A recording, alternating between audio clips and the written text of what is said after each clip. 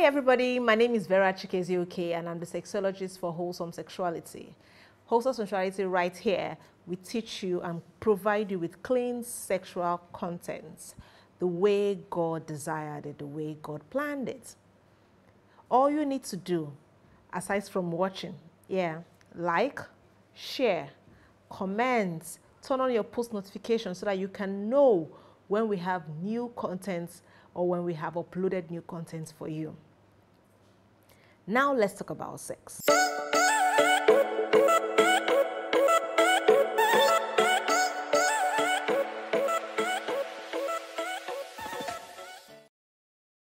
So today we're going to be talking about sex languages. I don't know why I'm jiggy and, I'm excited, but um, this video is going to save a lot of people. I know. I know.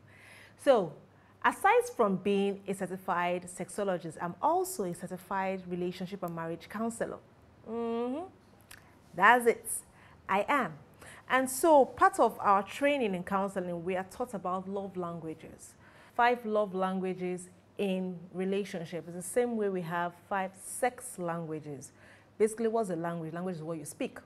So, in love, the language you speak in love is your love language. The way you speak your love is your love language. And the sex language is the way you speak for sex. Basically, where you want to have sex or the kind of sex you want to have is the language you speak, your sex language.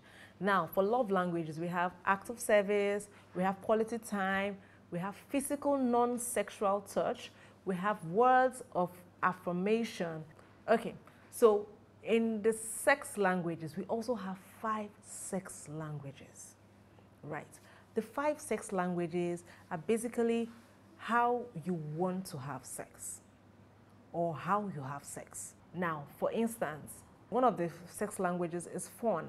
The person who speaks fun as his or her sex language is the person who wants spontaneous sex.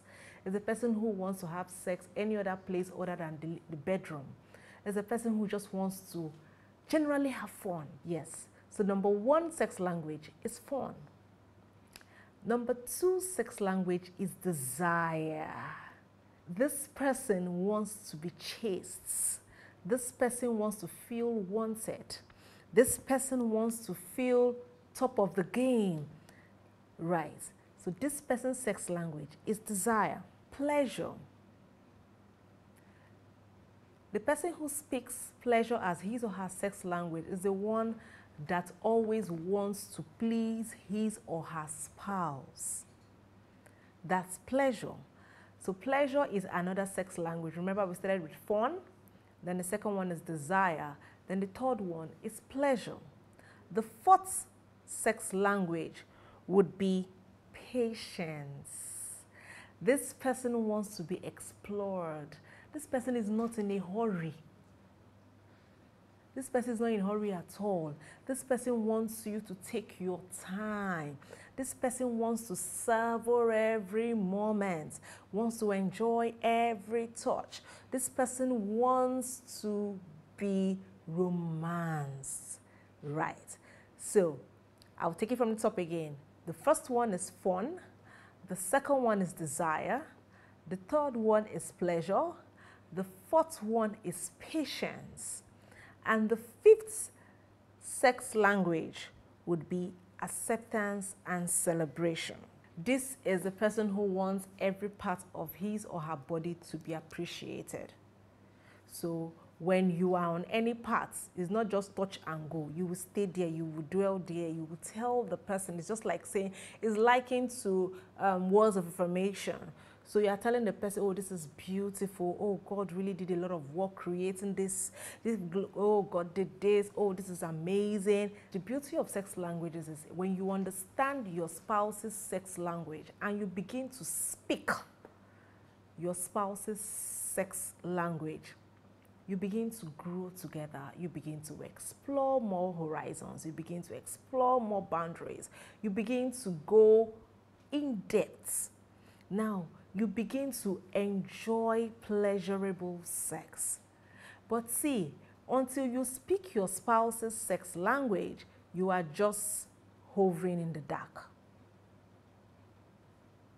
sex is beyond orgasm. And this I've just given you could be the key to your spouse's orgasm. Imagine her sex language is um, desire. And you just come back from work every day, Oh, you Zerubbabel, and you just, you know, mount her and you move. She can't enjoy, you have not scratched the surface of it.